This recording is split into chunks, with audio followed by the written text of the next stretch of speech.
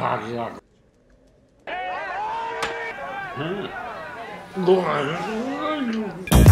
Of all the film festivals in all the world, you had to walk into mine. Yes, the Manchester Film Festival is back this year. It is all based down at the Odeon Cinemas, and there are tons of independent movies, short films, and premieres happening. And some big stars from the movies are there too. We've got Timothy Spall. What's the name? Stef Dawson of The Hunger Games and Karen Allen from the Indiana Jones movies bringing her premiere to Manchester and she will be there in the flesh Mad About Manchester will be there to interview. I might challenge her to a drinking game. Actually, I'm going to challenge her to a drinking game.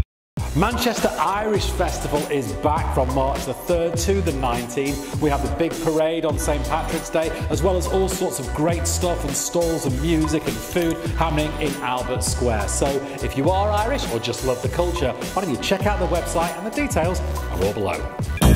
The Andy Warhol exhibition down at the Whitworth yet? Well, it does end in April, so giving you lots of notice. It's a great opportunity to get down there and see one of the artists that really has shaped the 20th and 21st century.